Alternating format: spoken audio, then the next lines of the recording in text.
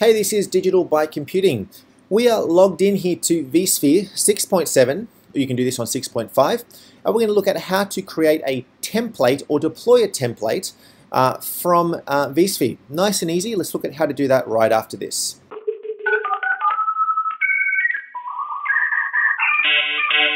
So my name is Emilio. I work in the IT industry and we are here connected into a uh, vSphere console, into a vSphere client through the web browser. Uh, you, can, you can do this feature by you know essentially putting the IP address of your vCenter environment and you log in to your vCenter server and then you've got you know essentially a breakdown of your hosts and the VMs running within those hosts. Now what we're going to do is we're going to create a template and show you how to deploy a VM from a template.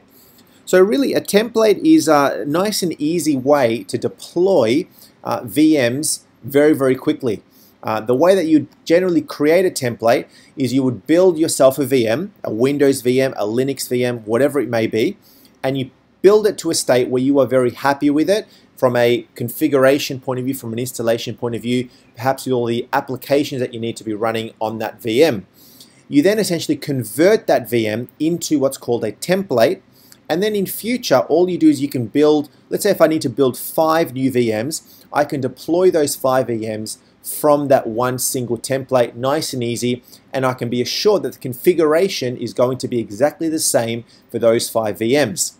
So let's just say I've got a server here called pfSense. So this is a, um, a proxy firewall um, solution uh, and I'm very happy with this VM. I've just built it, it's now powered off and I want to deploy a number of these VMs in future. So once it's been powered off, all I have to do is literally right click on this VM or I can go into actions, either of the two, and go down to the template area. I'm then going to say convert to template. All right, so I click on that. It's going to convert the pfSense virtual machine to a template. I can say yes. So that process is now completed and it's essentially just changed that VM from a VM to a template. All right. Now you'll see that it's now disappeared under this host view. It's not actually gone, it's just removed from this host view because it's no longer a VM, it's now a template. So I can now go into my VMs and templates area right here and under my data center view, discovered virtual machines, you'll see that within here, I've now got a pfSense folder or a pfSense template. You see that the icon is now different and this is now essentially a template. It's no longer a VM, it's now a template. So I can't really go in and power this template on uh, because it's no longer a VM, it's now a template. I can still see a whole bunch of information about it, see the permission, see the data store, etc. But now it's uh, fully used for deployment of VMs. Really the next step is if I want to now deploy a VM from this, all I do is I right click on this and I can now say new VM from this template. I can now convert this template back to a virtual machine I can clone to a template, I can clone to library, but we're going to look at how to build a new VM from this template. So I select that, I give my VM a name, so now it's pfSense02. Where do I want to put it? All right, we're going to leave that there. What data, what um, host? We're going to put it into this host here. Say next. What storage we want to use? We're going to leave it as the same source. Well, no, let's make it thin provisioned. It's going to go onto this storage device, onto this data store. Do I want to go ahead and customize it? So I can go into here and actually go ahead and customize the OS slightly further, such as the license key and other small little features. Essentially, your S, you know, creating an SOE, a standard operating environment, straight from this template.